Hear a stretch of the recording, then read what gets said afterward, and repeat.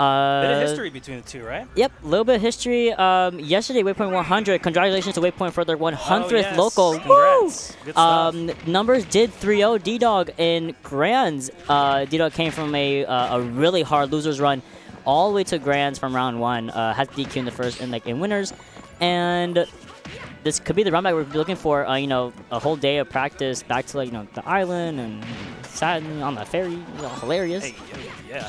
D Dog is from where you said? Long Staten, Island? Island, uh, Staten Island. Oh, gotcha, gotcha. Uh, the ferry is Staten Island. The, Right. the lure is Long Island. the lure, yes, the lure. I know it all too well. No, me too. Me too. so either way, seeing a really solid lead from numbers, uh, probably mimicking what he was able to do on um, on at Waypoint yesterday, just keeping a good lead on D-Dog as much as he can. And that block placement is not going to turn numbers whatsoever, and neither will that TNT. Yeah, we were seeing D Dog earlier in uh, his previous match against. Ooh, I, f- I forget who D Dog played. It was the Pokemon trainer. Oh yeah, Noku, Noku. He, he was.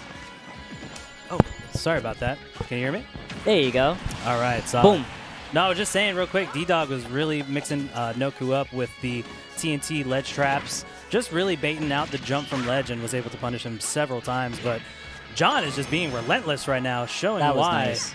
John has that historic set record over D Dog. Yeah, absolutely. Numbers is is, is just showing out what Wii Fit can do against someone like uh, Steve. Uh, should be able to come back. No, Mag- Magnahan's Yeah. not gonna make it this time. Numbers. Uh, usually numbers is pretty good at keeping his jump, but that was a really really harsh fair, I believe, um, from D Dog. For sure, and this is a pretty significant lead that John has tacked up, but all it takes is one up tilt, right?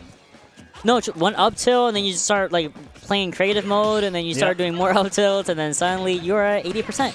But same, the same kind of applies to Wii Fit in a way. When she Mm. does at least have deep breathing active, she has sensation at her disposal. She has the soccer ball, and she has that frame six back air whenever she really wants to kick it out. Yeah, that back air taking that stock there, but here comes D Dog trying to figure out some way to get back to the center of the stage. Oop. She's so skinny. Oh my gosh. she actually weaved through the hitbox of the magma block up smash because of how thin her hitbox is. That's hilarious. oh my. D-Dog was probably not expecting that uh, that kind of thing to whiff like that. Ooh, that back air is so strong. Mm-hmm. Oh, Oof, yeah, that's death. yeah. Even numbers knew SD that. there from John. But Yep. D Dog still only having a you know 62%. Could mount the comeback.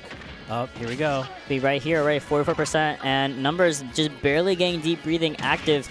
That block save numbers, Yep. that block save, that would have killed numbers immediately. Um, it be your own block sometimes. It be your own blocks. For sure. D Dog looking for their revenge from Monday's matches, but let's see how this one finishes out. Deep breathing online. Oh, deep breathing. Interesting. I just noticed this right now. Probably a good tool to obliterate the blocks, no? Absolutely. Yeah. Uh, with that extra damage increase, and also numbers kind of knows the Steve matchup in terms of uh, Mm, yeah. the blocks, knowing that you can just knock out the first, the closest to the floor block, and you can run right through all of them. Super, super advantageous, and it kind of throws D-Dog in for a loop whenever it happens to him. D Dog really slowing things down here and, and making John work for this last stock. Ooh. Oh. Oh, I thought the nice roll. Yeah. Great anticipation there by John. All right. And so everyone knows D-Dog is running out of supplies and also running out of stock. I was going to mention, biggest thing with Steve is resource management. Yeah. uh, D-Dog had basically no resources left. Maybe like two uh, iron, like one wood. Oh yeah, one wood and one like two stone. Um, you had nothing. You Mm. have an un um, an uncrafted diamond, and you had reinforced your disposal, which you couldn't use efficiently against some like numbers. Right. Biggest thing with uh, Steve has to be that, that resource management and your opponent being aware of what you lack. Yeah, yeah, definitely. So many top players speak to that point, right? Mhm. About really keeping track of Steve's resources and then adapting their their counterplay to that, just to figure out what they could do, what's a bit safer. Yes. but yeah, so we're about to jump into game two, and John taking the first game, very close, very competitive. Let's see how the rest of the set goes. So I'm actually not surprised at the PS2 counter pick uh, Mm, yeah. for D-Dog, just because PS2 as a stage in general really, really favors zoners and a really slower playstyle um, and a very, very ranged playstyle, which Yeah. Steve can adapt to so easily with block placement, with uh, minecart, with bomb trapping, I'm sorry, uh, TNT traps, Right. and things like that. So D-Dog choosing PS2, not surprised whatsoever. It's just how Numbers is going to have to deal with a little bit extra space on that uh, main platform. Yeah, absolutely. And I'm curious from a materials perspective, sort of how prominent you get certain materials on, on PS2. Like, not sure if you know or. So, if I recall correctly, on PS2, the edges where it's silver, you get more iron, and Okay. the middle, you get more of your base resources, um, Gotcha. wood and, and stone. Yeah. And I also want to say diamond also comes out much faster on the on the metal part. on the metal part. Yep. Gotcha, gotcha. But D-Dog has crazy RNG, and he got it Yeah. on the platform, so yeah, D Dog looking stacked up with their resources. Mhm. Got gold and diamond on deck. And uh, see, we have a ton of stone, stone at our disposal, much, much uh, more formidable wall block, and you can definitely make it back. Um, keeping that jump, but you're not making that from that up smash. Absolutely not.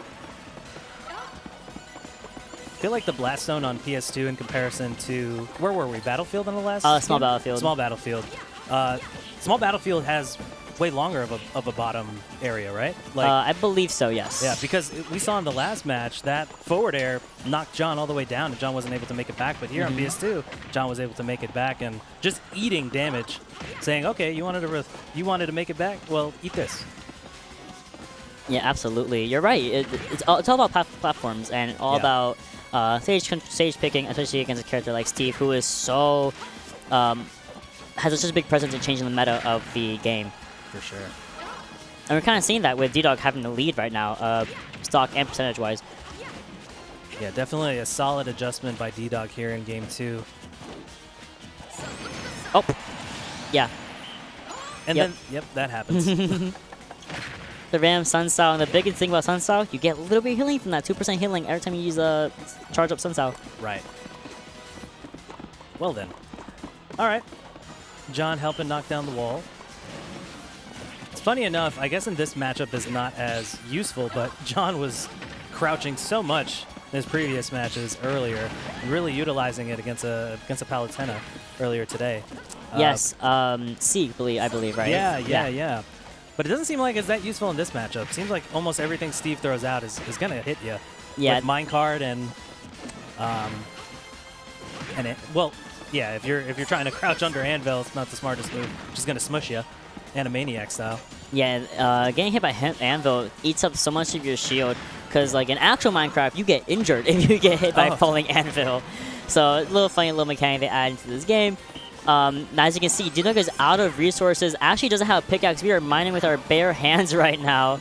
And Numbers is guarding that crafting table as best as he can, which also I think is a really, really solid counterplay against Steve in general. Just either guarding or breaking that mine table, uh, that mine table, that crafting, that crafting bench whenever you can. Makes him unable to craft um, their, their stronger weapons. And there's our Sun Salutation once more. Getting it again. Mhm. Wow. Now, I found it super interesting, John sort of waiting it out, um, even though D-Dog was low on resources. I, I wonder if that's sort of the time to kind of go in and scrap when they're when they're low. Uh, but I guess it, you know it really doesn't matter because Steve, with or without resources, is just gonna throw the axe on you. But so is Wii Fit, and unfortunately, Wii Fit doesn't really need to mine for resources the way that uh, Yeah. Steve does.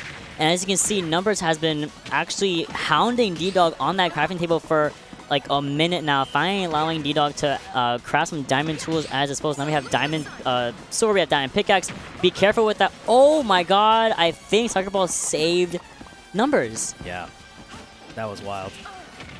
Because I would have killed. Yeah, absolutely would have killed. Beautiful use of roll into F, uh, to F2. snipe. Oh, almost the second snipe with the soccer That's ball. huge. John doing a good job of keeping D-Dog in disadvantage. Are we going to see a third Sun Salutation? Let's call it. When? When D-Dog is like, trying back to stage. It's coming. I can feel it. is approaching. Another forward throw. Yep, just like a soccer ball. Not quite taking Steve yet. Here comes soccer ball. Sun Salutation. And you eat it with the minecart. That was so smart by D. There it oh! is! Oh, the third one hit. The one we least expected it.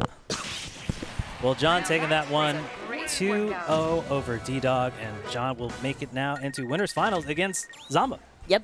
Yeah. Winners finals against Zombo. Um, wasn't expecting that. I've used been whenever D Dog and Zombo come together, they're like a little, a little, a little pair now. It's really funny. When they get, whenever Oh, they come to nice. an event together, they always like go to winners finals, and it's always like they go like some most obscure character. You know, D Dog goes Dr. Mario, and Zombo goes like Link. I'm just like, this is this is this is my tournament. I've seen that before. Yeah. they just got an arsenal Who of goes? Characters. who to goes go. what? So D Dog goes Dr. Mario. Dr. then- Mario? Dr. Oh, Mario? wait. So you're saying if it was D Dog versus Zombo? Yeah. Oh. Oh, it's just I like see. like a I really thought you meant. John. I'm like, he ain't played Oh, knocking I have- a day in his life. I have never seen numbers ever in my life choose Yeah. off of green female Wii Fit. I mean, you have the Sword Fighter. Okay, I choose to ignore John that. plays a Mii sword fighter. yes, Yeah. in um in Ness matchups Oh, because he's a firm believer that it is Wii Fit's worst matchup, Ness is Wii Fit's- especially PK Chris and Syrup. I believe he'll go against with Oh, uh, interesting. Sword Fighter. nice. Is it is it more of like a even matchup? Would you say with Mii sword fighter or is Um, it he believes it strictly- is. Okay. He believes it is. Uh, I think it kind